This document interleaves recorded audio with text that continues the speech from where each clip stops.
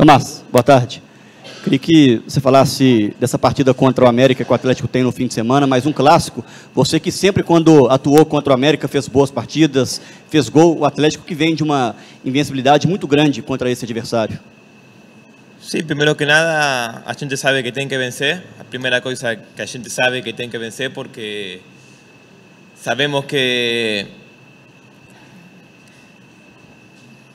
que no último jogo perdemos ali no, no último lance, então é muito importante a partida do domingo.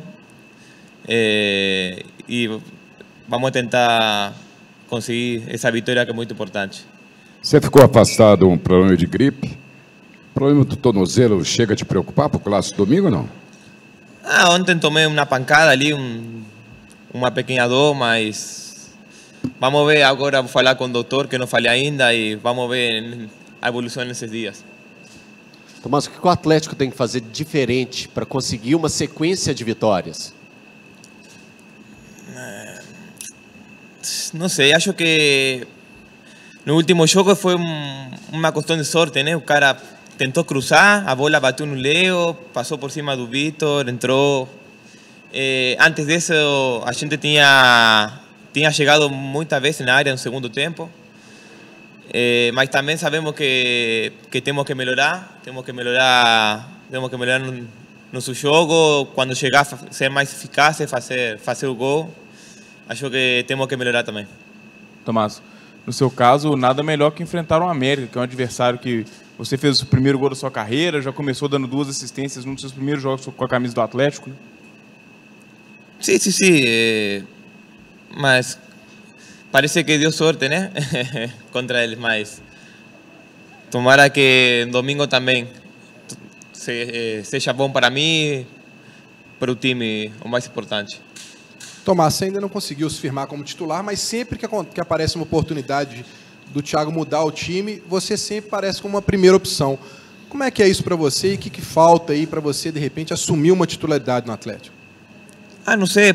Para mim, a minha avaliação é boa. Eu, eu acho que sempre quando, sempre quando jogo, quando tenho minuto, fui bem, tentei tentei coisa, como sempre, como sempre falo, nunca vou me esconder, sempre procuro pegar a bola, ir para cima.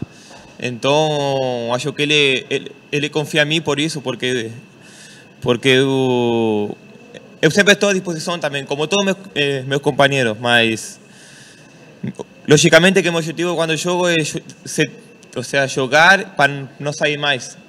Mas a decisão é dele e ele que escolhe. Eu tenho que eu tenho que aceitar. Agora, em cima disso, você se sente mais à vontade, que você tem entrado pelo lado direito, pelo meio, pela esquerda. A posição, aquilo que você se sente mais à vontade. Eu gosto de jogar, sempre joguei no meio, né? Centralizado, no, no meio. Mas também gosto muito de jogar pela direita. Parece que, que quando estou no jogo não estou à vontade, mas eu gosto muito de jogar pela, jogar pela direita. Parece que, que melhor na esquerda que na direita, mas na verdade eu, eu gosto mais de jogar na direita.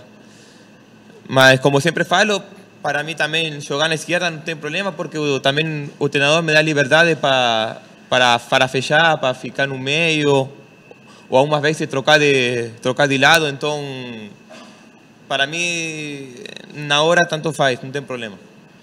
Você se adaptou bem no Brasil, foi bem rápido a adaptação aqui. O que, que você acha que falta para você renovar o contrato, ficar mais tempo no final do ano, já que seu contrato termina no, em dezembro?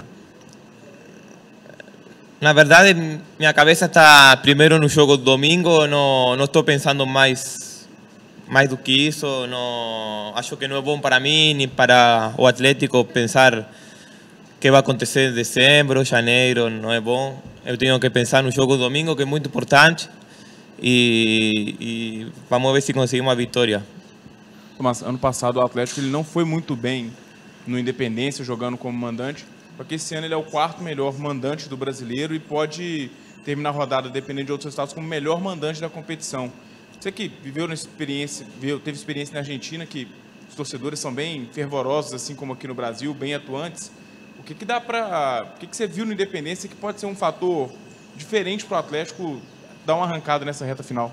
Ah, a gente gosta muito de jogar lá, Independência. Eu acho que, é muito perto. eh, do campo do, do campo do jogo. Eh, a torcida está muito perto. Eu gosto muito e também se vê no resultado que a maioria das partidas a gente sempre vai para cima para cima dos caras e, e quase, quase sempre conseguimos a vitória lá.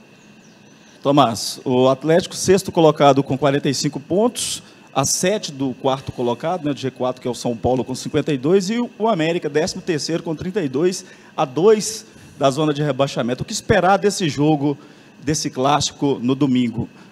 O Atlético indo para cima, o América indo para cima, ou você acha que o América aguardando o Atlético para explorar aí um contra-ataque?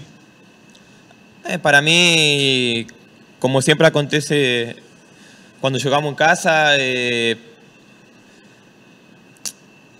a gente sempre vai para cima, seja quem seja o time.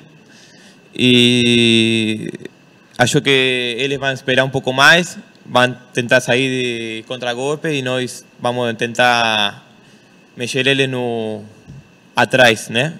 Atacar, atacar bem.